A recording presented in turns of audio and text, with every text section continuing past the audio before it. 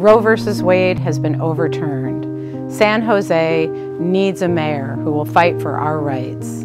Cindy Chavez is 100% pro-choice, but when Matt Mahan was a tech CEO, he refused to take a side.